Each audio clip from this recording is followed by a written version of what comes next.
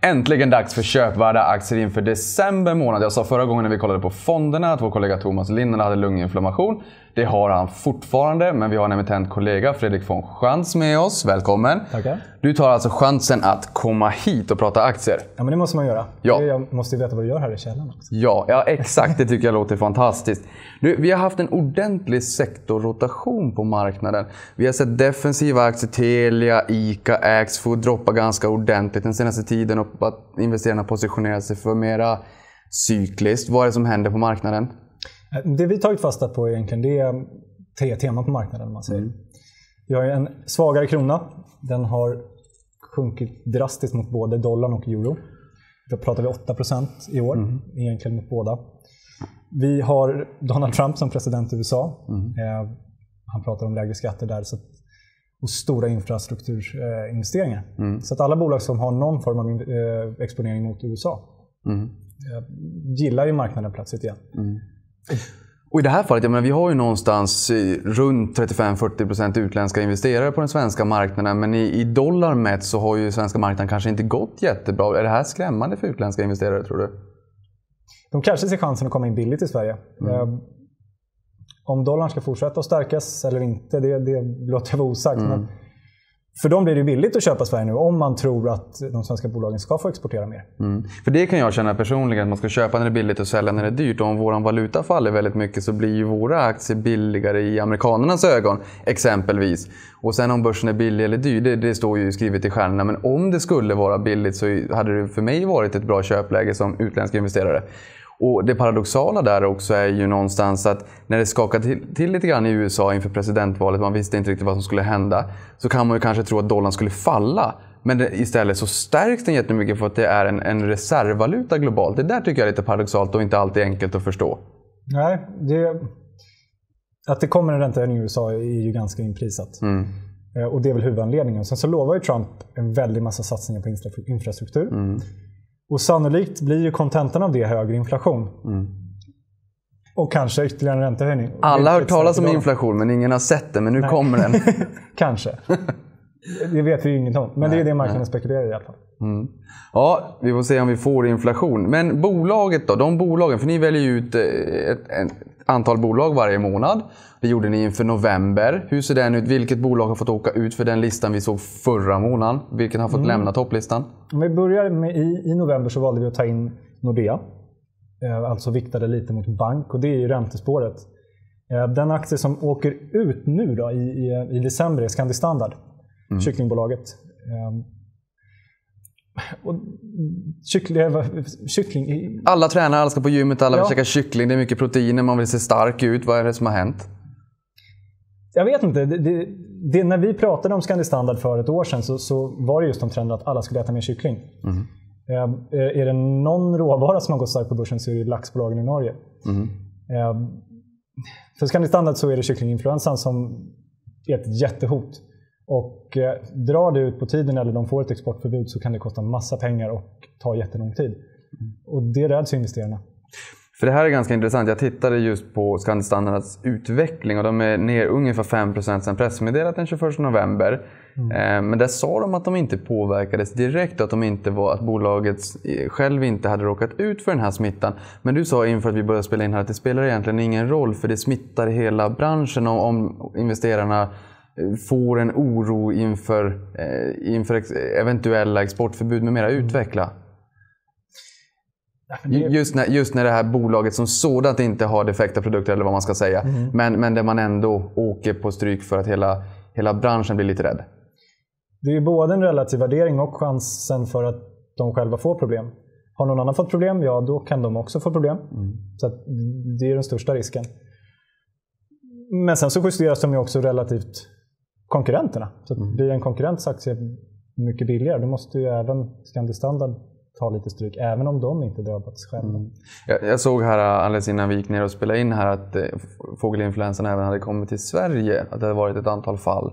Eh, vad är det värsta som kan hända med Scandi Standard om det är så att man säger att nu, nu stoppar vi importen av kyckling från Scandi Standard? Att olika länder går ut och säger det här. Har vi någon hård konkret fakta på om, är det, blir det en, en konkret dignitet för, på, för resultatet i Scandi Standard om det inträffar?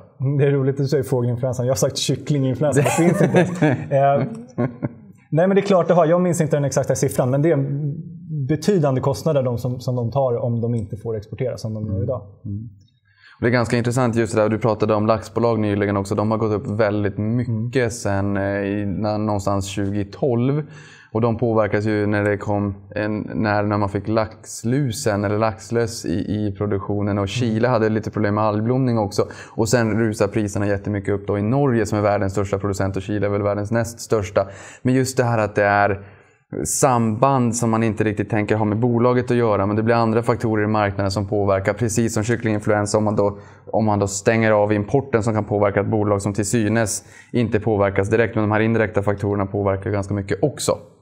Det blir ju också ett större problem ju dyrare bolagen blir. Mm. Laxbolagen har ju hypats ganska hårt. Mm. Så det är klart, de minsta tecken på att någonting eh, skulle kunna gå fel, då tar ju de ganska mycket stryk. Mm. Och Det här är en bra sak att komma ihåg också. När jag säger att någonting har blivit trendigt, oftast i marknaden så kollar man ju på P tal alltså hur många gånger årsvinsten man betalar för ett bolag. Och om P talen är väldigt höga, ja då signalerar det ju också att man har en hög förväntan Antingen på att kostnaderna ska skäras ner eller på att vinsterna ska stiga så man växer in i den här värderingskostymen. Och blir så inte riktigt fallet, ja men då har man ju byggt upp en liten fallhöjd. Om det är så att man har planerat för den här perfekta kvällen och sen så blir det halvdant, då blir man lite besviken och likaså på, på marknaden. Då. Ungefär så. ja. eh, vilken ny, om vi, det här lite roligare då. Vilken ja. ny aktie har kommit in på listan? Ja, vi har tagit ut en aktie då. Och eh, in tar vi egentligen nästan 10. Mm. Vi har valt ett eh, investmentbolag. Det är industrivärden som, som kommer in på listan. Mm. Eh, så det gör ett byte, men på grund av det så får vi exponering mot flera sektorer. Och eh, ganska spännande bolag just om man ser till det här med, med trenderna att det är cykliskt och mm. stigande räntor som gäller. Då. Mm. Så, ja, mycket av industrivärden är ju Handelsbanken. Mm. För där kan jag tänka mig också Skanska, Skanska eh, är bra, gick bra i USA när det kommer till infrastruktursatsningar. De har 37 procent av omsättningen i USA. Många amerikaner räknar som ett amerikanskt bolag. Det är banne med svenskt, det är vårt bolag.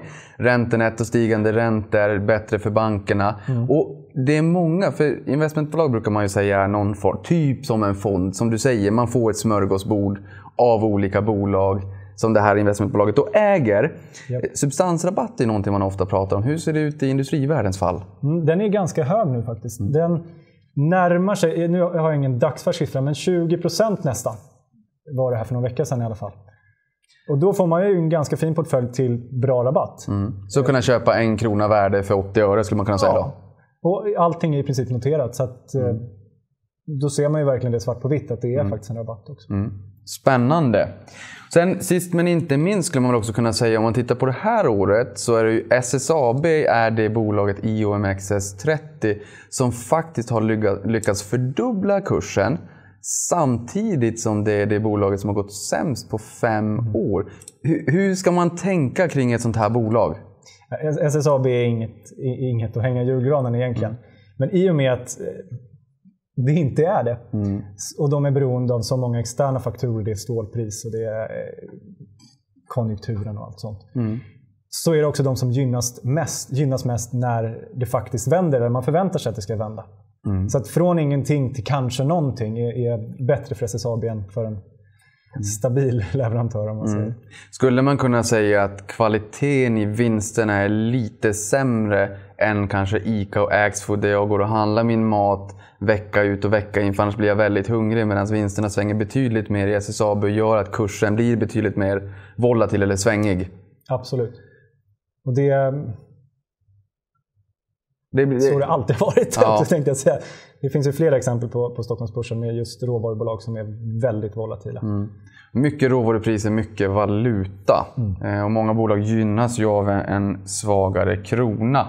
Och det där är väl också ett medskick att ser ni en aktie som har gått väldigt bra innevarande år och kanske ligger på topplistorna. Kolla gärna på tre år eller på fem år och se hur det har utvecklats över tid så att man får en känsla. För det är inte säkert att de bolagen som ligger på topplistan idag är bolag som hela tiden bara går upp, upp, upp. Utan zooma ut lite grann och titta på några års eh, sikt och se hur det har utvecklats över en konjunkturcykel.